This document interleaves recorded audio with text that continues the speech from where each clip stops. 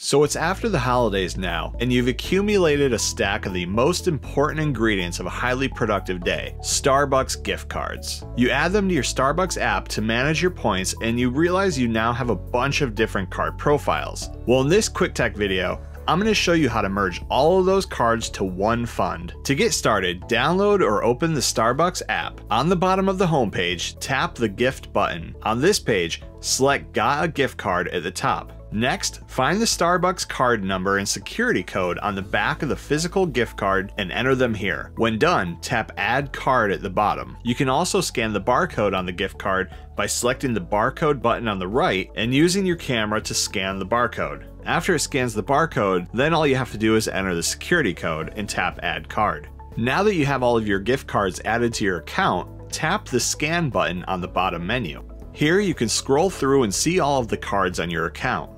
If you don't already have a main card, you can choose the first one to be it. As you can see, the third card in my account is my main card, so I'll transfer everything to that. Head back to a card and hit Manage.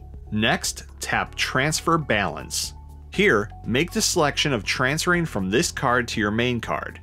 When done, hit Transfer at the bottom of the screen. You'll now see the balance is zero, and if we go back and over to my main card, the balance has been added to there. To clean up the account, go back to the card with the $0 balance and select Manage again. Here, tap Remove Card and Remove Card again. Go ahead and do this process with all of the gift cards that you've added to your account, and when you're done, you'll see the total balance of all of your gift cards added to one final card. And that's how you combine multiple Starbucks gift cards using the app to one card. Thanks for watching, please like and subscribe and stay tuned for more quick tech how-to videos.